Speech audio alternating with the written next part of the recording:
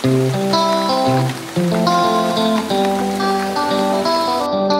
do you think of when you think of the Amazon? What images come to mind? We're going to be thinking about this throughout the class of what ideas and images inform our ideas about the Amazon and why such ideas tend to be so popular in informing what we know about Amazonia.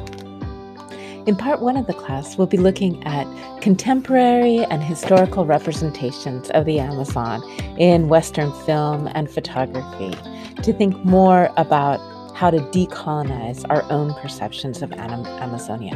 And you'll be making your own videographic essays or films with this information as, as, as your final project in part one. And in part two, you'll be working on creating a historical report for healthcare workers working in the Amazon rainforest right now trying to combat COVID 19.